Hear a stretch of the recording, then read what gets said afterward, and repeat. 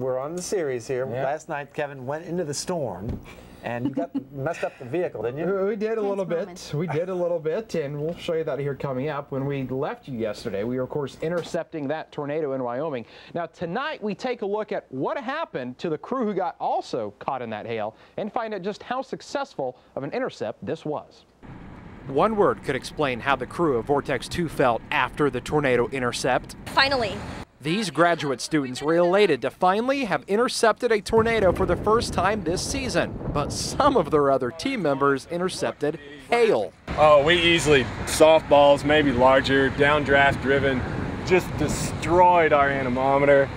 Got dents all over the side of the car, the roof's trashed, and our window is gone. There's oh glass on the inside of the car. That's right, demolished. Look at these still images from inside of the van. What would it sound like? Amazing. it was so much fun. It's just, I mean, there's nothing like watching a hailstone this big just slam into the window. Oh my gosh, look, Look at, at that. Look at that dent. While some people would not be too happy about getting caught up in this type of hail, Sean was more than happy to do this to help the cause. Uh, yeah, we got some good data. I think it was really worth it. Speaking of getting great data, Dr. Josh Wurman was equally pleased with the historic intercept. was probably the best intercept of any tornado ever. We had more instruments on that tornado for a longer time than has ever been done before scientifically. Look at these reflectivity images from the storm. You can see the classic hook, and then, of course, the velocity couplet, which shows winds in the storm. As a matter of fact, one of the radars recorded this spectacular view of the storm that almost looks like the eye of a hurricane. The entire group of 100 scientists, obviously, very happy with the outcome.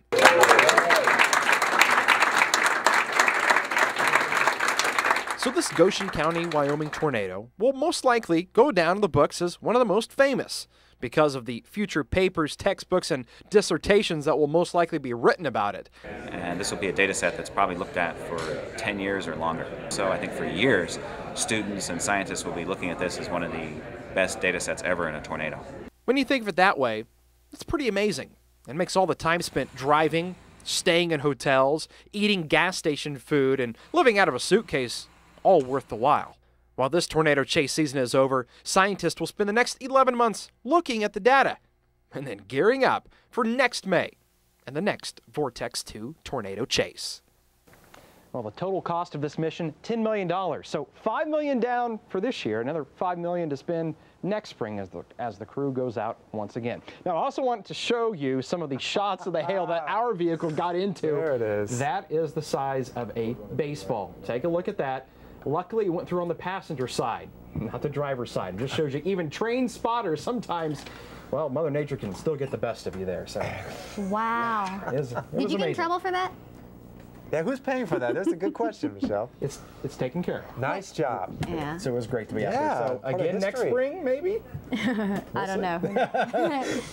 Michelle's like, only if I get to go too, right? no. Thanks, Kevin. Yeah.